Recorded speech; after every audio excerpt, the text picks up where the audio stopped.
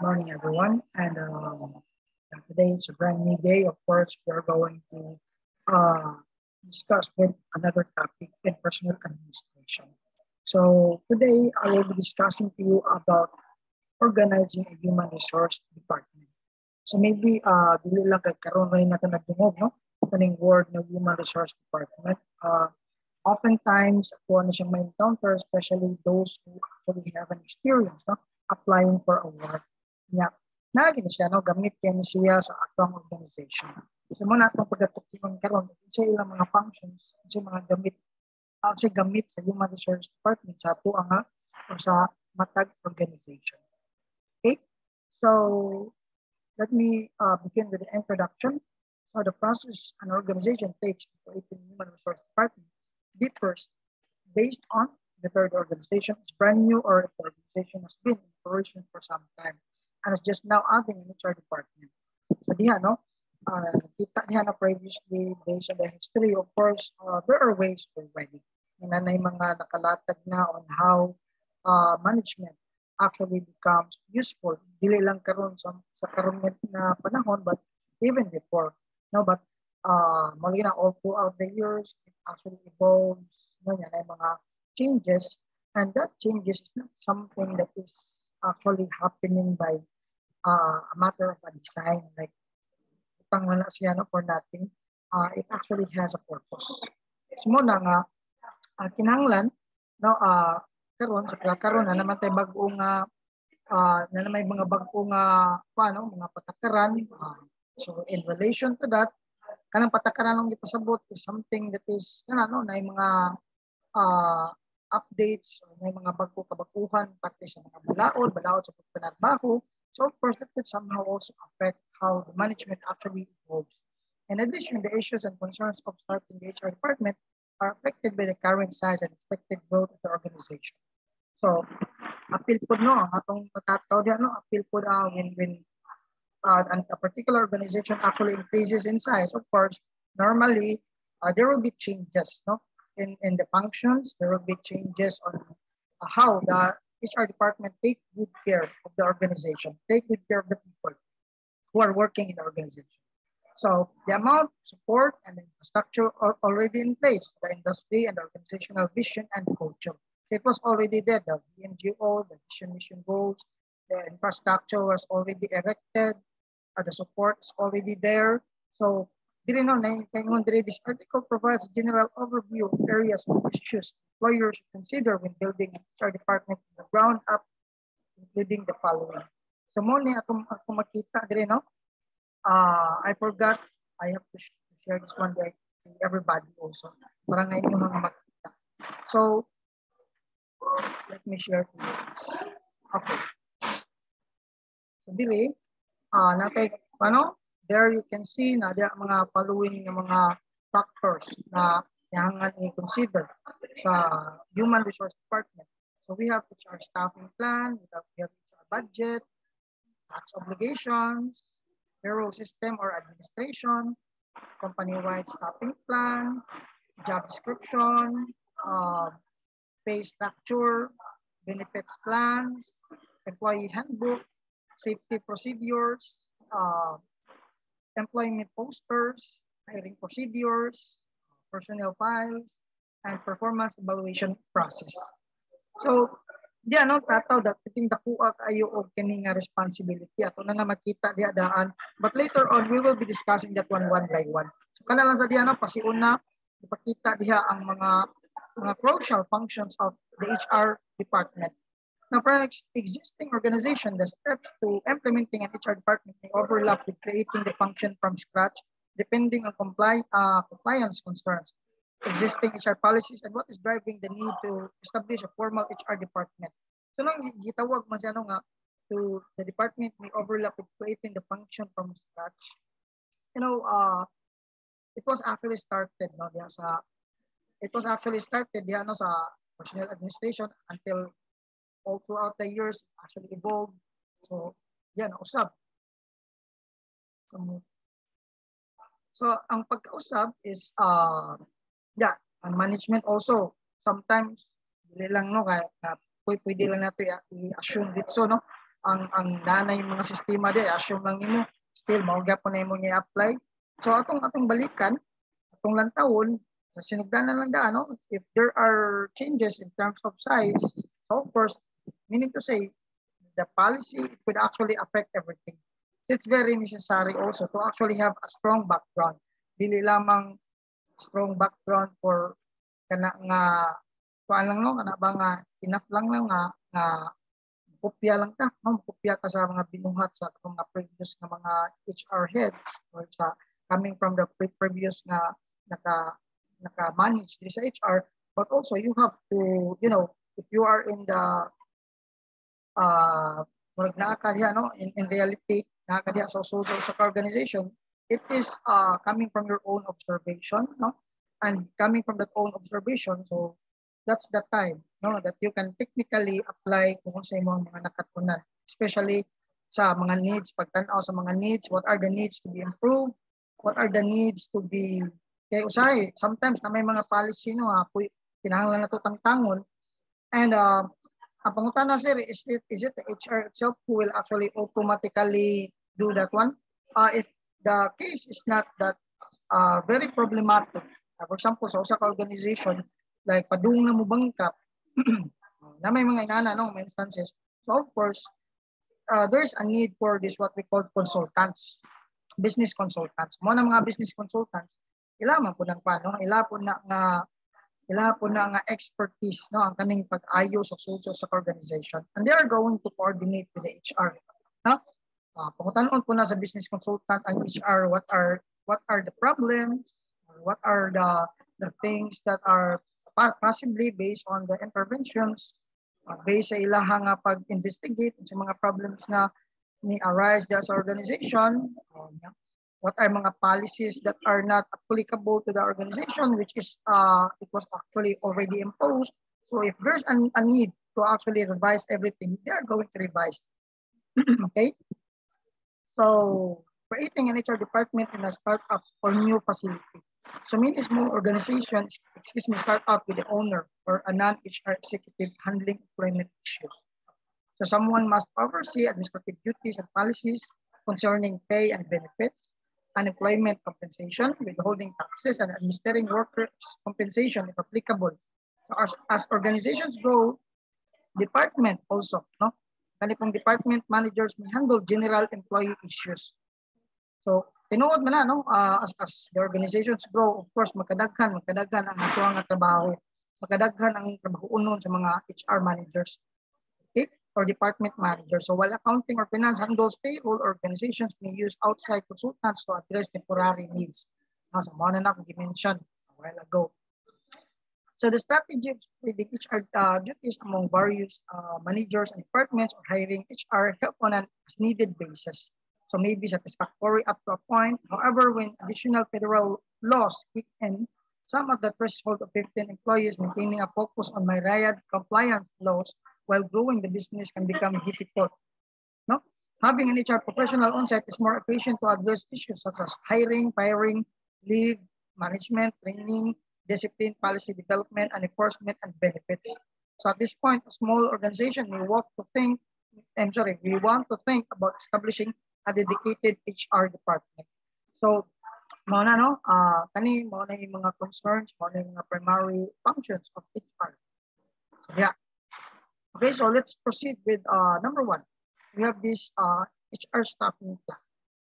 So, first, uh, as I discussed before, no, uh, kaning HR staffing plan, the hiring qualified and experienced HR professional is not an easy task for a startup ngano man ngano man sir uh, it's not just about you know you're going to hire because the, the company is in lack of personnel but of course you are going to hire someone mo na no hire the right person for the right position meaning to say it's very important to actually choose those most competent one okay dili man na duwa class niya na, especially kaning trabaho sa HR is very crucial pwede pag just a single mistake it could actually affect the entire organization. Okay?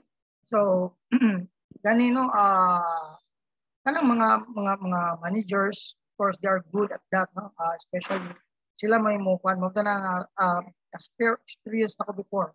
we conducted uh, hiring, no? uh, uh, recruitment and selection. Ang, ang, ang final nga interview, ang final nga approval is coming from the manager. Uh, mga manager mo po mo, mo ano mo mo last na mo screen.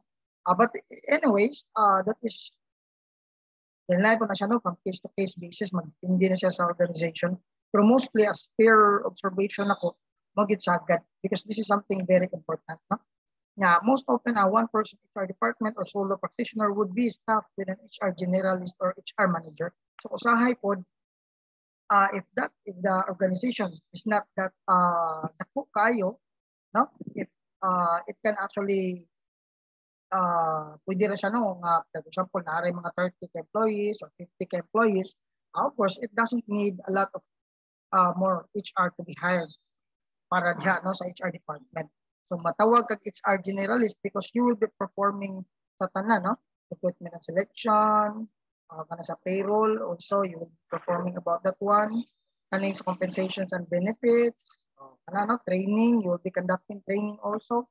So only applicable for those mga may lang nga mga organizations. Okay? So when screening candidates, organizations should consider the following attributes.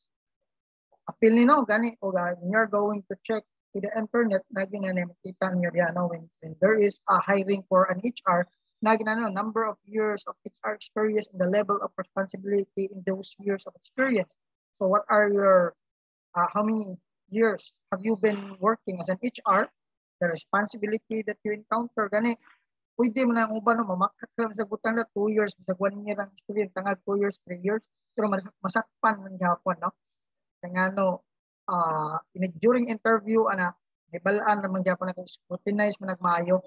Agani, makita man sana, no, when, when the way the person actually talk, the way the person actually, or the applicant actually share his uh, responsibility, experiences na na-encounter niya no, sa organization previously kung asa siya nagtrabaho. So, nanay mga uh, illustrative example was the candidate a generalist, a manager, or a specialist. So, you're a manager, of course, what are the functions that uh, you perform? What are the most what are the most crucial um, experience no nga imuha nga nga imong na, na manage especially kaning mga problems no uh, pertaining to the organization now experience working with startups or organizations of similar industry or size. So dili no? Ang ang ang sa imuhang pag-intro sa imong introduction no? As an HR first nimong salang like example uh, as is lang no? Wa pa ka experience. Or kato mo apply first time nimo no? Na na, na apply ka ato. So is it the, the industry that you're working before is uh, the same type of industry as what you're applying right now because that would also matter with your uh, the, the management style, the way you actually perform with your previous job. Kay at least dili na mag-need of dako kay nga time for you to adapt, no? Uh, for you to adapt and at the same time for you also to apply the learnings that you have from the previous kind of job na mo perform. And the sizes also matters. Okay? unsay gidakon. So previously, if you're working 1,000, you cater 1,000, you're in the payroll, you're you are taking good care about the, the salary of the employees, uh, the, the salary, so or, or both uh, salary and compensation and benefits, so good for you, no? It's a uh, nindot kay siyang experience. So if you're going to apply sa katong mga gagmay-gagmay lang nga organization, surely dali ra ka madawat because for them you're not uh, sa basket pa dili ka rookie no dili ka baguhan so at least uh, immune na ka no? Whatever will be uh, the the job which is uh, i-assign di sa imuha say for sure imo siya ma manage karon na education level and it's a related certification. So education level of course magdepende po na siya no? Um kani siya it does not just only speak about sa kuano uh, sa tuang uh, like for example I am a psychology graduate so of course what is uh kaning vertical to my course is kaning human resource. Appeal po ni sila no? Uh, we also have HRDM or human resource good nga nga major nga kuan course. Na agad no? Napod ana napoy mga administrative uh, there are also business uh, administration graduates who happen to be an HR also. No, so magdepende man gud siya kanang mga functions like uh, like sa pan, compensations and benefits that can also be performed by an accountant. So diya, pwede, po, no? Pero mo lagi na atong tan-awon, ang tawo na to, uh, sometimes, of course, mangita ko siya HR related certifications, trainings that are uh, relevant to HR functions. Now, what are these trainings? Of course, related sa imong functions as a human resource one, personnel? Like for example, uh, training is about compensation and benefits, training about labor code, training about recruitment and selection, training about you know how to actually or how to conduct an effective training sa inyong paano what are the ana, mga trainings mga certificates? Like for example kung mingon ta trainings panitan uh, ang imong gi-applyan is naa ka sa training no? No? Training specialist ka or uh, training acquisition specialist so ang imuha is uh, of course pangitaan ka og kanang mga kuano mga certificates proving that you conducted seminars, ikaw may nag ikaw may nahimong speaker. So with that, of course, that can be a solid uh, what is this? Uh, solid nga nga ano kanang maka support sa imuha nga pag-apply. Knowledge of employment laws and other compliance issues. Uh, dira, no? So this is very important. Uh, last time when I was in my college years, we have labor code, no, or labor law. So kanang labor code, we study about it one because that is very important uh, from time to time, uh, not only for the purpose of, you know, uh, I am going to work as an HR someday or I am going to work for something related to kanino sa panarbaho nga kwan. Pero at least this is very important. You know what's what's the important here is para lang po sa imong kagalingon nga application know that you somehow you know your basic rights as a laborer as an employee the ability to conduct research uh, access resources prioritize and juggle multiple projects and um, adjust to the quickly changing needs of a startup and communicate directly with upper management and also uh, gani no na kay everybody are actually encouraged to conduct research. Dili lang necessarily nga paano ka subuon pa ka? But you in yourself you have to volunteer. You have to to, to conduct research sa imong pagbuling dili. Um for the sake na at least you know the background. You know what are the previous problems that are actually encountered by the organization. Uh you know the you know the staffing plan before and so somehow you can actually contest them no with the kind of plan that you have So diha maka maka-content created idea no sa mo pag uh, sa mo pag uh, provide og solution if ever uh, there is a need to actually restructurize or emotion i-revise. So prioritize and juggle multiple projects. So diha no uh, it's very important also but somehow it has something that would also uh, matter with this what we call support from the top management adjust to the quickly changing needs of a startup, and communicate directly with upper management. So yeah, you know, very important na yung communication.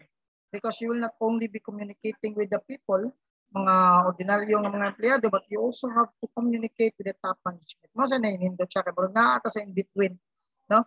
Nga, if you have that uh, very supportive nga top management, parang mga CEO, mga or manager ba nato, also at, at least it will not be so hard for us to actually uh, make plans kung sa man, no? Uh, na at least uh, dali ra pud kita maka-address atong mga concerns. If we are actually pero mo ginano maginahanglan man kita sa ilahang uh, panabang. We cannot just do it all by our own no? Kay kanigong budget sa organization also it has to be communicated with the different departments. And especially sa manager sila may kabalo anak no? Pila allocation uh, samta kay what, what is the purpose here sa sa kana siya? Nga need pa siya og approval coming from the manager is also kaning ko ano kaning kanibang paglikay bas kay gayunan nga dili magasto ang kwarta sa di maayo no? To the extent na makuha na noon ma-compromise na noon ang serbisyo sa uban because because of lack of budget Now, as the HR department is being developed, including the development of forms, policies, and HR practices, consultation with attorney who is familiar with relevant state and federal employment laws can help avoid errors. So establishing this relationship early and using legal counsel upfront help reduce the potential of for lawsuits as the organization grows.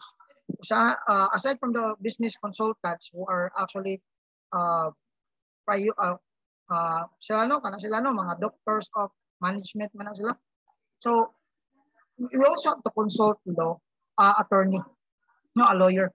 Okay, why, why do we need to consult attorney? Of course, an attorney may mga nakabalo about legalities, especially uh, mga, mga rights related na mga kuan problem, no, kay naman tagi mention sa babaw. Uh, other than that, no, kanin kanin kuan mga mga taxes, ana. So somehow, uh, it would be also uh, a big help to actually consult with an attorney uh, good for those big uh, organizations who actually have their own legal consultants, kay dali lang, no? Dili na lisod. But for those nga katong wala pa, uh, so it, it would be much uh, wiser no nga to actually res, uh, resort with consultation sa lawyer. Now, next we have HR budget. So the human resource practitioner's responsibility is to align the HR department's budget with the organization's strategic goals while following organizational guidelines and procedures. So kani it's very important also why budget gani no the budget becomes pero na kita no kabante this uh the, the salary that we receive is actually our lifeline no kay kung wala tay sweldo di kuan ta dito mabuhi na po ng organization the budget is very important that's the reason why of course it has to be properly delegated because mana ako magka short ang budget problema mo sa organization to the extent that it could actually uh, result to this what we call bankruptcy. Now, the responsibility of the human resource practitioner, no, as HR, yeah, uh, budgeting involves systematic collection of information and data so that so that the monetary resources needed to support an organization's objectives can be projected. So, yeah, no, what are the the plans? What are the uh, like since it discussed or it mentions about systematic collection of information, like kung sa may mga next ninyo nga mga trainings, kung may for, for next year, what are the, the, the plans coming from the top management as supported. Oh, kay kanino ang ang work as function sa HR is to paano man gud no? To kita man mo mutabang ko taglili tabang kay tanaw no sa mga organizations objectives that are to be uh kanino ilang ngay pa, pa hinabo. No, of course, if there is a training to be conducted, if there is an orientation or seminar to be uh, conducted, of course, the budget will also follow. So part of that, muna ng uban, mag, uh, every department, if they have a plan to somehow, like for example, there is a, arita there is a, ano, arita sa logistics. Uh, the logistics department are actually proposing uh, training uh, training para sa ilang mga dito, sa ilang mga members, mga empleyado dito sa department. Now, uh, part of that is the proposal. No? They have to subject proposal. To, sorry, to submit proposal. Yeah. Upon, tana mo na, pag submit sa proposal, uh, there's also a budget allocated ano, no, part ng project, how much will be the cost of that particular training so that uh, it can be uh, examined by the HR no tanawan po dahil na sa HR no apil po ng HR mo tanawan na apil po sila mo mo, mo paano mo ask for question if there is no? And uh, of course for the release of the budget uh, pa po siya siya coming from the approval of our manager okay so manager po dili po na sila magkuha na magduduha if that is something very important of course ilam po nang i-approve okay so num Nadrino, uh, from a human resource perspective, the data needed to create a new budget include the following. We have, number one, number of employee projected for the year. So pila, no? Pila ka empleyado. Uh, pila ka empleyado ang mag-inabot, uh, ang nawala, ano, ano? Benefits cost projection. So diha, no? Ato sa makita diha, no? What are the, the benefits cost projection, mga mga mga gipahanay nga mga budget para ana. Uh, projected turnover rate. So diha no, ang, ang turnover kani bang mga namuan ba? Mga nanghawa. Oh, pila ka buok, no? Uh, kay kana yung turnover rate kasi mga si, si nawala na ba tong responsibility ana naaman ba? No wa man nawala kay nga naman you still have to pay especially kanang gitawag na to uh, separation pay. Na man siya no? Uh, for for uh, katong mga company nga dagko na po nasa dagko po nasa separation pay. That would also depend on pila ka ka years service sa uh, sa organization. And I even uh, I even experienced that one before no, when I was working sa uh, privado dako ang kumpanya uh, I received uh, my last pay no ako ang separation pay. Okay? Uh, cost already incurred in the current year. So yeah no ang ang budget ginap every year expenses uh, ila po na i-contest uh, ila po na i-kuan po na nila kandi kandi po na nila pas no kay para nga may balaan yun na nila no how the money pila ilahang na nagasto for last year, what are the programs na ilang na na napahinabo last year compared karon and for tomorrow so ano po yang kinangikuan nga program or mga trainings ana so at least somehow they will be guided. Mo mo siya tawag siya mo siya customer trending ba maligya pa ka no? Uh, that can also be the basis na ah kani among budget if if mo go lower ang among budget ani na possibility nga kuan mi ani no? Uh, we will actually encounter this what we call the bankrupt so dapat uh, it has to be maintained as much as possible siyempre no ang ang, ang every organization mag-aim mag na og profit. So it, would be much better if magkuan siya no bahala lang siya og kuan. At least every year siya magkadako. Kasi every year na yun magkagamay. So something that is very alarming. Okay? So kaya nga nalikayan po na siya. Uh, new benefits or programs plan.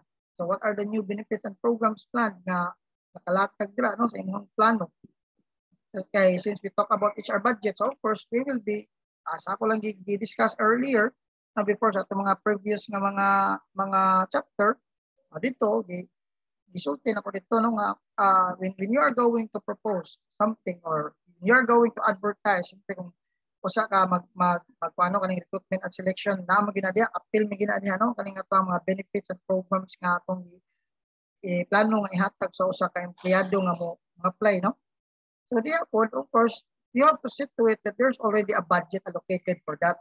No, kadi mata pwedeng ni saad ta na, ni butang ta na, once nga na nadiha, uh, that could actually destroy our reputation. No, if dili na nimo tumanon, not only destroying your reputation, much worse, uh, what is uh, what, what could be the worst thing that may happen if dili na nimo tumanon, of course, your liability sa balaod. Okay? So na no, like for example, parehaan ang pag-provide sa ato ang ano, uh, kaning mga mandatory benefits. Gawas lang ana mga extra kay dili man tanaw that's not uh, the, the law. Kana can no longer uh, inter uh, sitaw kani it can no longer be applied. Ana na nga mga kuan kana mga extra but kana mga gidagkoon mga mga perks mga, bonuses nga dagko.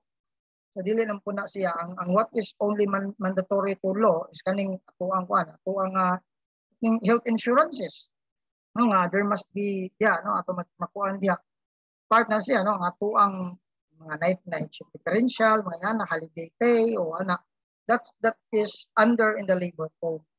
Okay?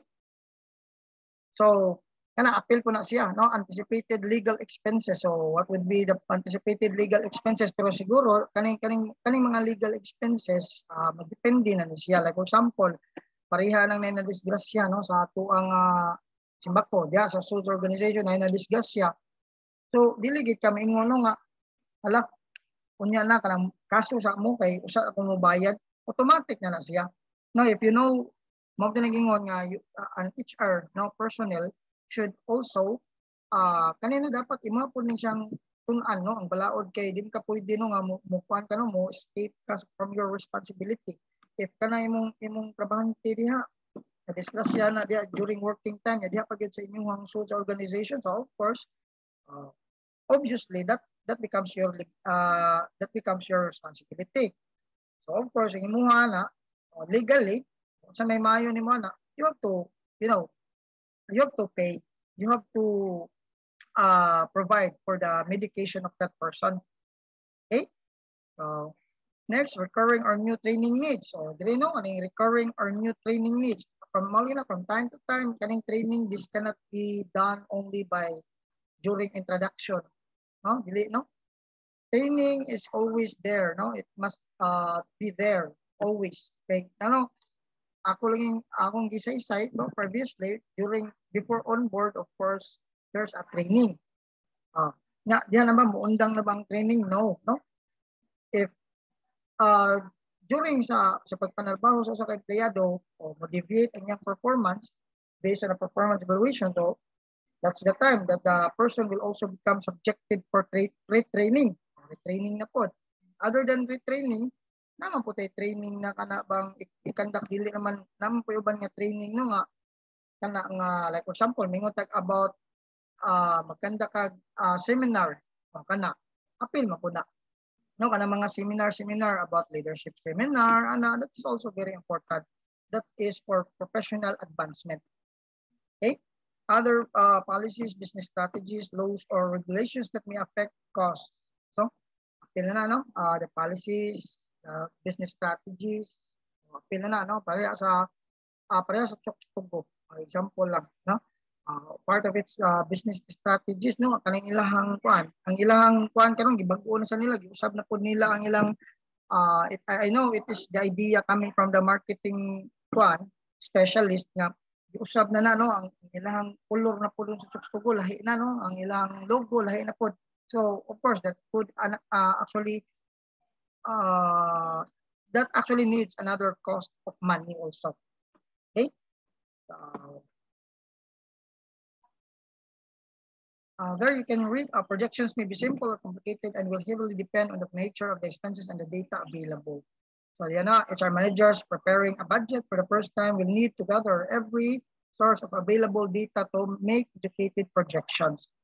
Uh, dili la pod ingon tas no nga kanang uh, kita sa educated projections because somehow that is realistic, somehow based on logical. No?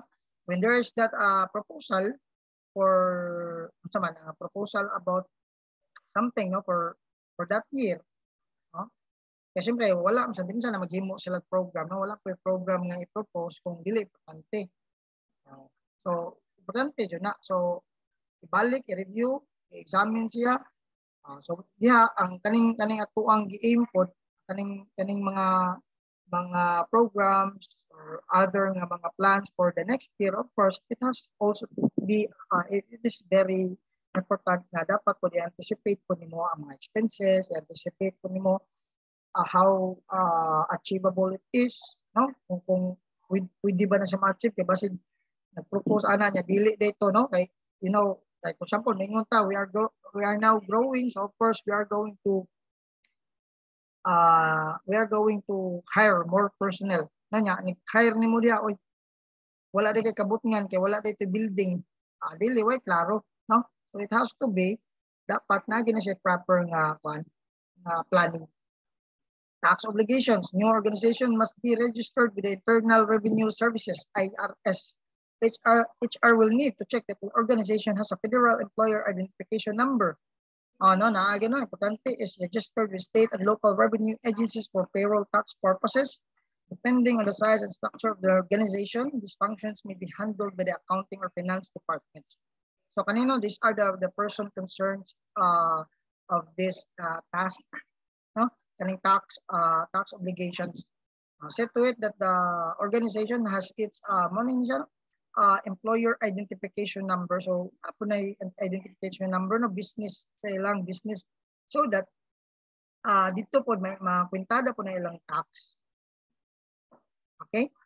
Nga sir ma makapamakak dili juga kapamakak no? Kay nga namo guna siya that is uh, namo guna siya na namo guna siya ko ano na na siya based on record. Uh, na na may antay ron antay report also. Amo examine pud ana siguro na mga times na pwede uh, pwede no ang uban ng mga organization mo gina no?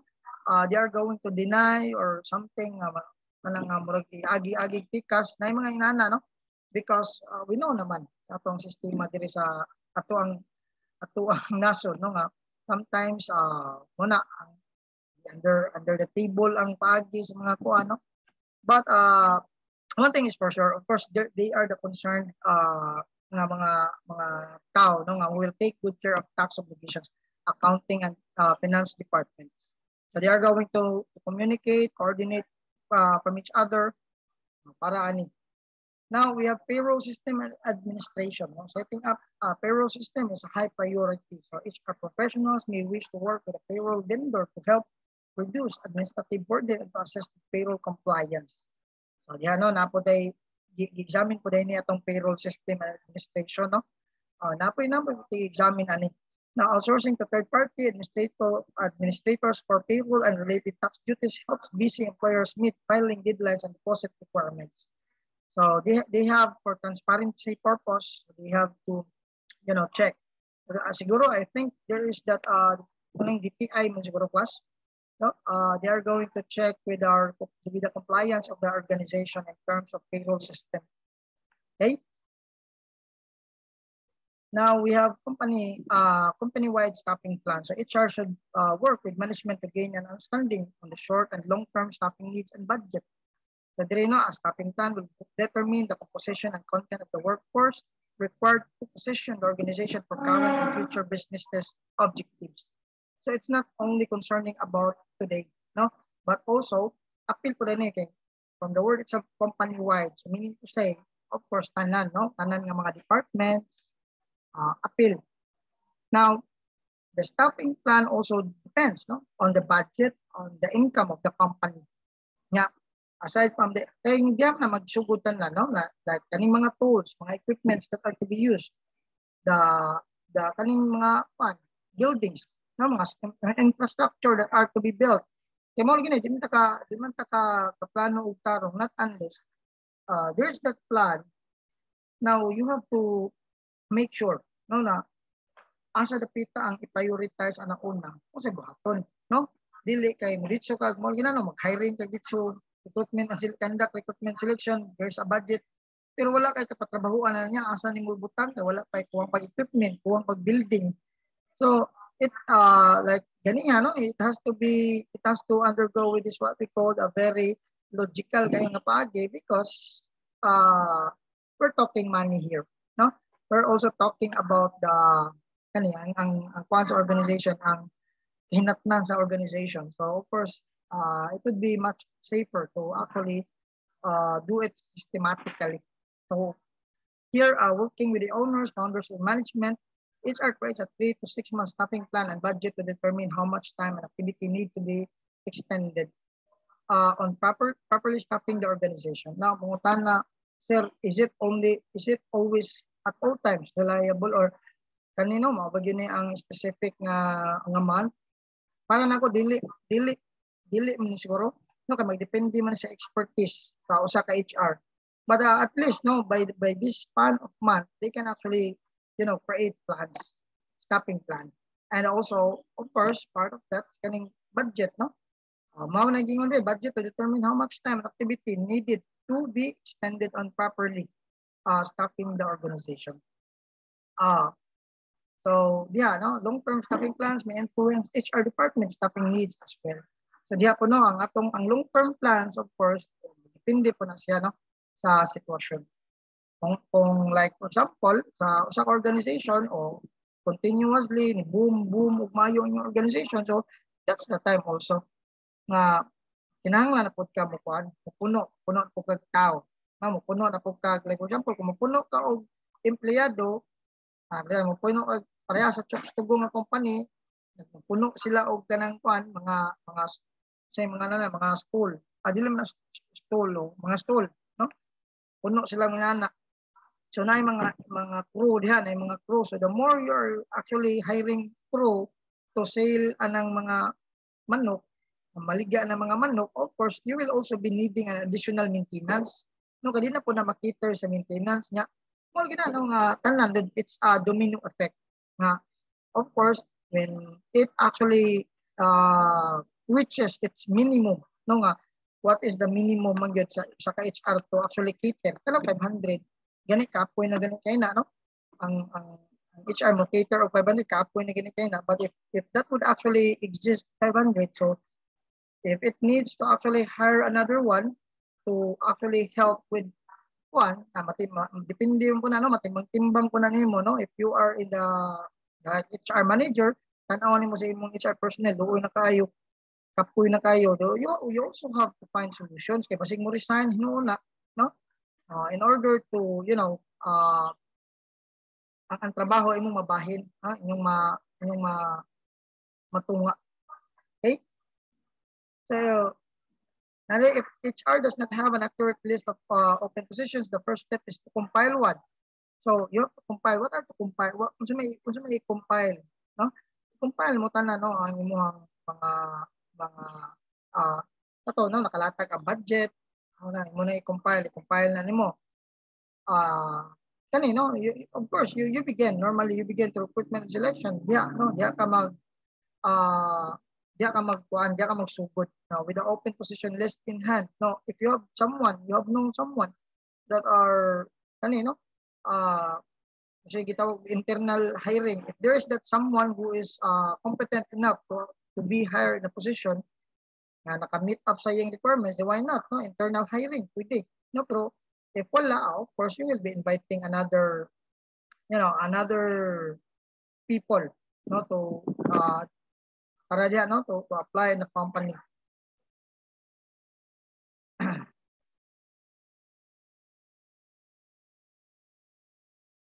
Okay, next we have job description. No? It's a useful plain language tool that explains the task, duties, function, and responsibilities of a position. So diya, no, atong matato diya, kung sa may naa sa job description, of course, nali ang task, no? Ang duties. Uh, duties na to, no? Ang function. Uh, na, responsibilities of a position. Asa ra kutob ang limit, limit, limitation nimo sa imong responsibilities. Where to report, no? Your working conditions that is also uh, there in job descriptions. Now, also my working conditions, depende, no? Uh, depende. Depende, no? Depende kung unsay kuan. Like, for example, na may working conditions that uh, speaks to the environment. Uh, ana. So, na diha, no? Asa kadapita, ma-assign, ana, na, na, na diha sa job description. Okay? So, job description are used for a variety of reasons such as determining salary level. So, ang gamit ko sa job description also is to determine salary levels. Diba? Kaya diyan na, no? Uh, vertical, magina sila sa task and duties. Next, we have, uh, we have, uh, what is this? Conducting performance review. Oh, wala, so performance na to, no? If, if your performance actually deviates, of course, dili ko ka pwede subjected for ano, ano bang ang imong sweldo padakan yung mga dugaya na nako may tubo-tubo akong sweldo So, um, sa pod nga basihan diya, no, is kani no atong performance, no. If if ilang ma-review diya imong performance, uh, walay walay tubo-tubo among ko ano, same gyapon satisfactory satisfactory, of course, you're not subjected for promotion or subjected for quad ana nga to receive higher salary. Okay, clarifying missions. Oh, diya no, from the word itself, clarifying missions, of course, what are your missions? So, may imuhang diano sa may imuhang angayan nga buhaton ra diha sa organization. Establishing titles and pay grades. Uh, diha and creating reasonable accommodation controls and a school for recruiting. So diha mo na niya ang kanin this can also be the tool no for for recruitment no when uh, HR personnel conducts recruitment. Okay? Job description are also useful in career planning offering training exercises establishing legal requirements for compliance purposes. Appeal siya And also, gitaw na a job description gives an employee a clear and concise resource to be used as a guide for job performance. Okay? So, yan mo po na siya mabasihan din nato no sa ato ang uh, kani uh, ang, ang mga HR when they are going to, you know, uh, kanino conduct performance evaluation, that is also based uh, coming from the base of job description. Diya po na nilang lang tawod, no? Ilang ilang tanawan muna nilang tool nga Kay, of course, pareha na sa exam class, no? Lain po kayo, tagaan mo math niya, exam mo English. Patunan sa inyo ang math niya, English ng exam. Of course, masuko kita, no? So it has to be, uh, it has to go in, uh, paano? Uh, kuhan gina sila, no? Mag, mag, mag, mag, kuhan gina sila, magsanong gina sila. Higit pwede nga, anak nga, dili mo meet up ang imong ways of job evaluation kay pangalitag imo ng footballon or like mo reklamo na nga dos duli patay ka no? Tanaw di dola di man ni mao imong way of evaluation. Evaluate sa imong empleyado. Mura ba siya kuan so may tabo ni mo ana of course pwede ka ma-question or else pwede ka mataktak sa imong trabaho. Kay of course that's uh, one way that you're showing your incompetence. Pay structure, developing a fair and competitive pay structure is one major aspect in attracting and retaining talent. Ano, attracting and retaining talent. What are the what are the this becomes the, strategy no of some uh, HR. Uh, okay, kaning sa HR department of course like for example when you are going to post uh, job hiring uh, no mag mo job hiring na niya ara ba nato post social media ning uban mga flyers ang uban dira na billboard now this is also one way that you can actually attract mga kuano mga ano attract you can actually attract and retain talent. So may gipasabot nila ani attract because of course what can actually motivate the people? If you are paying uh kanino uh you are you have that uh, competitive pay structure uh, you can you can uh kanano kanang imong imong imong mga empleyado dili na sila masig balhin-balhin no? Aside from dili sila magbalhin-balhin, of course, uh, on the other side also, kaning mga mga kwan mga mga playay, uh, dali ra kay kanila makuan na no? Dali ra kay ka dali ra kay sila ma mainganyo nga mga apply sa inyong organization. Because because of this competitive pay importante magini no? Kay if you are going to understand the reality karon good lisod na kayo. So all of the people are actually motivated with uh, good salary. Okay karon daghan kay pa mahal ang palitunon. So with that nakatabang ka siya dako sa tuwa now kaning gitawag retaining talent. So for those uh, na naa na diha no nagtrabaho na diha oh, they will no longer be transferring from one work to another no? Diha na sila mobalhin na po sila kay maybe wala na meet ang ilang needs. It's it's the needs plus it is very important. Personal and professional growth is very important. Kani siya ma-part man siya sa kuan uh, this can actually affect the both uh, the both of them both uh, personal and professional uh, personal. We have our personal needs. So if, if you're not give uh, if you're not actually offering good compensations and good uh, competitive uh, salary package sa uh, mga kwan empleyado of course you cannot help uh, you cannot actually maintain those people no to to stay sa organization. Okay Building a market-based based structure from scratch encompasses several steps. So, of course, napo tayo gitawag of, of ano, basis. So, like for example, the, the basis right now is coming from the mandates of the government. Kung pila minimum mo, na say minimum. So, what about the type of industry? Magdepende po na siya. Like for example, you are a call center industry, a BPO industry. Kunya, imong sweldo sa imong BPO, minimum 360, 362. Oy, wala ka na pasok sa kwan no? Wala ka wala ka na unified sa sa tawag ani competitive pay. Wala ka na unified sa ilahang standard no? Pay structure. So you also have to to you know uh, to go with the standard pay structure so that dili ka malugi so that na mga apply sa imong organization sa imong kumpanya. Okay? Importante no? Gather uh, these are the steps no? Gathering the background information needed for project success determining your sources of uh, external market data and getting the data ready, uh, conducting the market data analysis, no? developing the pay structures, calculating the cost of the pay structures, implementing and evaluating the new pay structures. So everything has to be examined. Everything has, uh, you have to revisit, no? you have to review. If there is that uh, existing na nga, nga kani, kani nga mga pang-mention about sa, about sa salary, So you have it, it would be much uh, better to actually have bases also. Now, uh, part of that, no, uh, kaning pag-include ng benefit plans. So what are the benefit benefit plans that you can actually provide for, for the people, for the for your employee? So the organization needs to determine what benefits are mandatory and what voluntary benefits it wants to prove employees. So, atong atong himayon, there are mandated benefits, no? Mandatory. Ngayon, mandatory, that is actually coming or that is actually, uh, ano, mandates of the law that uh, the organization has to provide or the employer has to provide all of that, no? So, what about this voluntary? So, kung voluntary, it depends on the organization, no? If they have that, uh, ano, na, uh, good for those organization ng mga dagko because uh, other than that, no, napot sila lain nga mga compensation and benefits nga gi-offered Like for example, parihaan ng mga call center, mga BPO nga once you can actually reach the quota, actually it was not mandated man, but if you can actually reach the quota, so that's the time that uh, they're going to pay extra, ano you extra uh, compensations no, for the effort that you have exerted. So, ano, no? Uh, other than that, napaibutang dre kaning vacation na to, no? Vacation leave, sick leave, uh, personal days, or a PTO bank that combines all leave. So, yeah.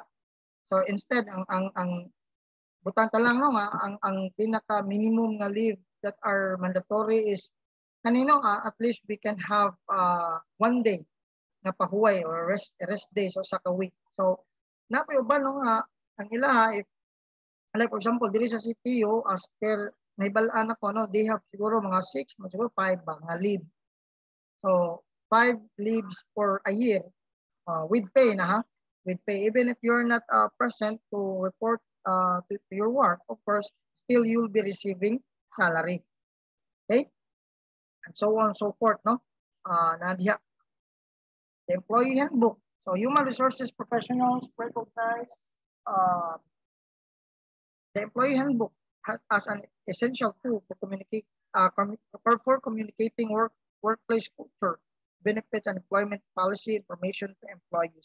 So kani importante kani handbook nga mura mag uh, sa inyong madre no nga like uh, dili sa CTU uh, you have a student's manual no yang kani ang kuan ang kaning handbook na po ni siya diri no mission vision goals na dira no tanan na po day guidelines gani kaning atong policy apil na no uh, dira no i-kuan man na diya no i-latag man na diya na employment practices benefits equal opportunity commitments, attendance guidelines, of uh, pay practices, leave of uh, absences procedures, safety issues, labor relations matters, and consequences to, for misconduct. So na di ano, policy. Now, kanang employee handbook, everything na na naginadiha. So imo na ano, uh, it, kung sa may gamit, actually, as per observation lang nako, sagad kayo, wala man kayo ingani no, sa organization, wala may muhatag ng ingani, but it would be much better if you in yourself, you can actually initiate to provide this employee handbook because this is very important. No? Kaya usahay mo ko, mga ginano nga, natawag siya, ang purpose niya for creating employee handbook is magigipangalan sa employee is that is intended for the employee for them to be able to know also no kaya na may usay wa sila clue no nga when can they actually avail the benefits? When can they actually daga no? Ng employment practices about sa safety issues. So na po diya no? Uh, usay mingon lang ko kumpanya oy we will not be held liable about that one. Kay tungod imuham ng kaugalingong kalapasan. Ang gingon na mo diya magsapatos ka wa ka magsapatos. So at least somehow that could actually kana mga, ginagmay gani nga mga issue. Pwede na kay nano makatabang na kay ng employee nga handbook para nga to correct all of those mga uh, kanino mga notions about sa mga naglahi nga idea sa tao. So, it's very important nga kinahanglan po nimo siya nga imo pong imo pong mastiron imong lantawon. Kimo mo siya murag batakan no? Mo ni kudigo na to. Kung sama bag sama bagbalaod dili ta pwede pataka lang tagtabi. Do no there must be a basis. So yan na usab kaning employee handbook ya no na kita na nimo diha no? What are the the benefits the compensations that are of uh that are actually uh, gihatag sa organization sa muha o parehaning leave of absences procedures. When can you actually avail this what we call leave? O na may uban nga wala nila na natarong og file ang ilang leave. Dito ra sila absent. So of course that is not subjected to sir nganong mo ka nanong gimaynusa man akong sweldo sir nga naman may leave o the question there is wala ba ka mo mo mulukso? So, dapat dili ka mulukso. You have to follow the, the normal procedure which is to you, you have to submit letter prior to the day sa imong pag-absent. Ana so that it can be filed no? It's uh, a matter of you know everything is a matter of kaning ano kanibang pag-file okay? Safety issues labor relations matters and consequences for misconduct. O dire kaning policy o, very important kaya nila the company's policy so of course at least you will be guided, no? What are uh, the possible uh, sanctions or what are the possible nga mga nga imong ma-receive if ever you're going to perform or to, to, to do something this is what we call misconduct. Okay? So, employment posters. Uh, employers are required to post relevant federal and state employment law posters in each facility whereas employees can readily see them. So, diha ano na, gina diha mga employment posters. Asa, asa ang HR department, asa diha ang uh, ano no na mga mga butang diha nya gani na butang fire exit o na diha this way to the kuan ana so na gina siya sa mo na gamit siya sa organization. At least kung pananglitan na especially your operating just so sa organization diha uh, you operate like for example parehaan ng uh, production ng uh, company so you're in a production company. So of course na from time to time na kita mga client or mga mga tao nga nay tuyo diha. So at least they can somehow uh, dali ra kay sila maka makakita. Asa sila padulong ana no Next, we have hiring procedures. The hiring procedures includes multiple steps and various practices, including the use of application forms, uh, interviews and pre-employment testing, whether to use a written employment uh, contract and the terms of an employment offer also come into play at this stage. So finally, HR uh, must oversee the process of organizational entry referred to as onboarding or orientation. I think I, I am done uh, discussing this, that one before. No, nga. Muna siya, no, before ta mo, mo, mo conduct of uh, recruitment and selection, so of course, muna siya kinahanglan, prepare na to, no, tanan, uh, nakalatag na based on the job analysis. Ito na po tas job description and job spe uh, specification, no? so that you will be able to know kanino sa mga functions kaning tawhana uh, kaning tawhana kasi immediate superior uh, working conditions job specification is something very internal no about the qualifications in terms of educational attainment the skills needed for the job and so on and so forth now kanino uh, we have this application forms ang ang gamit sa application forms is at least dali lang ka no uh, namang uban nga mga apply for uh, good for them if they can actually provide uh, resume. Nampo yung man walk-in lang. But uh, some, at some point, sometimes no, we can encounter nga bisag na ganito resume na po application forms. Now kani siya is very, you know, uh, this this is not something designed for nothing. This is actually designed with purpose. Application forms, uh, siguro that could uh, easily uh, help that can actually help the HR to easily highlight know what are the qualifications of this person, who is this person, ano, ano, mas dali na siya. And that that can also be included to the 201 file during filing. Now, interviews and employment testing. So, of course, naam tanong, conduct tayo ka ng preliminary interview, pre-employment testing. So, di ano, ang panan din na pati kung nag-exam. Uh, written, uh, whether to use a written employment contract and the terms of uh, employment offer also come into play at this stage. So, di ano, di ako may mahitabo no nga kanay pangutan-on man ta. Kay during interview pangutan-on jud no initial interview pa lang dan ipangutan-na jud no how much is your salary expectation? So what's the purpose for that? So at least they can somehow uh, go with the pagtandi no ilang itandi if the, the company uh, how much is the the salary that are actually allocated for that particular position. So di ako na nila mag-contest. Um, kani man po no uh, this is from case to case basis. Kay magdepende man po no if like for example if ang ilang ginid nga usa ka HR is HR generalist so nya ikaw na haom may mo experience? You have been uh, working for five years in an HR no performing the position as a generalist. So of course diyan mo na magdepende kina no kung pila ilang offer nga salary nimo no? Uh same based sa imong skills based on experience that you have. Okay? So, diha, uh, yeah, before ta mo kuan, before ta mo proceed to the next step, of course, undergo sa kita no kanang testing. That's also very important because that could actually provide uh, exact kayong information no, about sa imuhang mga uh, of interest, no? Uh, even kani ato ang ano, kaning kaning kaning paghatag exam sa tuwa diha no, na verbal ability, mathematical ability, aptitude test. So diha na makita og asa kada pitang nga area nga mas mo excel. Okay? And that that can also be the kani pwede po na naman nila mahimong basis no para sa imuhang uh, uh, kani sa imuhang uh, promotion or asa kada pitang nga area nila i-assign what are ano what are the necessary things that they can actually do to to help you grow uh, personally and uh, professionally. Okay?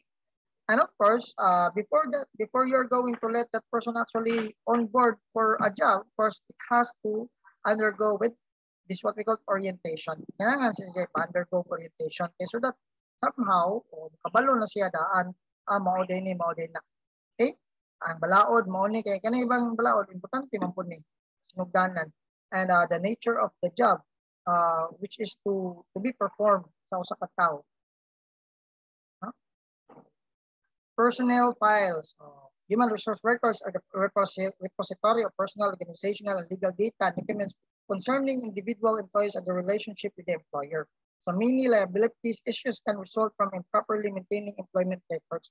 Diri no, kani gamit kay ni siya class, kani personnel files, uh, especially the one that I mentioned a while ago, the 201 file, it's very important because dira man diya tanan kita sa repository of personal, organizational and legal data. So diya no, diya uh, your requirements that, that was actually included there, no? Your uh, your performance evaluation result was already there also. Napo na diya, no? Uh, uh, kaning like example, if na kay na-commit nga mga pan misconduct diya so, so sa ka organization or naka na-violate nimo, so of course you can actually receive memo or kaning charge memo or kundi charge memo kana disciplinary action no nya diha adto man siya dito adto na i-compile dito so that can also be the basis sa imuha nga sa pamaning tawhanan ni nakabuhat naman ni katulo ka sala niya based sa ato ang uh, code of conduct sa company wa naman no uh, after makabuhat og tulo ka salaod nga same lang gihapon nga nga sistema sa sa sala so this person is subject for termination. Uh, unya. Kung wala kay proper proper ano no, hindi na nimo wala na nimo gitarong og compile ya naka nakabalitok kay balitok kay na diha. So of course nawa na ayo or nawala nawan ni ang iyang katungkuan so dili po ka pwede nga mingon la balik tulo na biya to ha nawala evidence diha. So of course that can be the best uh, source of everything. For, for, for promotion, uh, pwede po na siya no for promotion, di ako ka magkuha diha dapita, no? Based on the results of the evaluation, kanito hana, no? Uh, excellent, excellent. So, you are subjected for promotion. Uh, of course, in, in line to that, ang ima pang sweldo mo sa kapod. Okay? Or other, uh, for other purposes, of course, pwede po siya mahimo po siya nga, siya nga ni, mahimong reference nila kung asa kanila dapita pwede aside from the kind of uh, work you're applying with, the kind of job that you are performing with, uh, they can also assign you for another task or another nga, nga trabaho which is in line also and uh, which is na po kay skills po ato. Okay? Performance evaluation process. So the performance review process uh, includes both continuous and formal feedback and periodic, no? Usually annual uh, formal feedback. Uh, for ano nang uh, for some organizations by once a monthly, no? But uh, for other organizations, I do not know uh, because wala mo ko nakakuano but uh, dire gingon dire annually na po annually na po siya kuan by semestral. Now, damit kini siya no this is to also uh, to examine if the the what is this uh, the performance or the the quality of work to be rendered in a particular organization. Like no? We talk about the quality. Sa imong pagpanerbisyo kung wa ba ni debate no? Kay og pananglitan gikan ka sa excellent sa sinugdanan nga nagkanam-anam kanam-anam kag dulhog so of course that is very alarming. So kinahanglan the HR must do something uh, para ma-maintain to nimo. Kay what uh, what is actually kung sa may gilong sa usa ka organization continuous improvement. Okay yeah if wala tay continuous improvement so wala pulos no? May possibility nga murag ma, mapadung sa kuan wala. So mo na nga diha ila nang ila lang monitor. Uh, other than that, also they have to consider factors. Uh, like nganong nganong news post to? Para pag pandemic uh, due to kuan transportation. So that somehow they can also offer something to resolve problem. Especially if that particular problem is related to the kanino? Sa imong personal personal nimo nga situation? Ah so at least no makatabang ang HR para ana na. Gani no kanang mga call center so na maliit maliit kay tungod uh, walay kasakyan so mo na give that nag-provide ng mga shuttle ana. So that is very helpful. Okay? Now uh, sa evaluation process also no uh, pwede ba na, would this be uh, the basis for a termination? Pwede po. No? Kasi sa uban organization, if naman po na sila na class na uh, it has to be ang imong performance ma-retain ma, ma mo sa standard. Na ang pinaka-list nimo na is standard. Uh, if you cannot reach the the standards, of course, for for, for uh, continuously sige lang ka ka deviate deviate deviate mo ang performance aw uh, kana na matak-tak na jud kana okay and uh, is is it legal? Yes that is legal. Uh, hindi na depende na no uh, sa kwan sa organization nga kung maluoy ba sila dili. Pero legally kung taktakon kanila because of your uh, performance nga walay walay kuan ni deviate sa yang standard uh, of course wala kay mahimo. Now we have uh, starting an HR department in an existing organization. So being charged establishing human resource department in an existing organization can appear overwhelming so if uh, often HR uh, professionals are just not sure where to start so the key to success as with most things to begin by listening, observing, and learning about the organization. So finding out what the HR expectations are for the new job and human resource department is essential. So it's also, inani no, mura po tayo nga-apply trabaho ba nga, uh, nga-apply ka trabaho ba nga, of course, you have to be proactive. So you should know the background, you should know uh, where the organization actually started, saan siya nga nature sa organization, so that uh, you will not find it very difficult to kung kung sa magani ang imong kinahanglan nga maambag sa ka organization no? Uh, no na ingon finding out what the expectations are for the new job and the human resource department is essential so HR professionals can start by asking questions such as the following number one what is the purpose of creating this new department so diyan no makita ko na no uh, who made the decision to create the position and who understands the inner workings of the organization and knows the key decision makers. Jadi ha, kita, no? How were human resource activities handled in the past and by whom, no? So diya, at least you have the background. Ah, okay. Sa una diya, mo dito nani ang policy, it's because ang nakuan di diri sa una is uh, lawyer kayo, ano, no? So at least you have the background and uh, somehow if there are, mo lagi na no, atong usbon, if there are needs to actually uh, re restructure, re restructurize the kaning tan, uh, you can do that one, no? If you are in the position. What is the culture of the workplace? Nante, no? Uh, I think uh, that would be all uh, for today. Uh, thank you so much, everyone, and I hope you learned something with uh, with uh, this chapter. No, uh, sa ako nga discussions. And um, God bless everyone and thank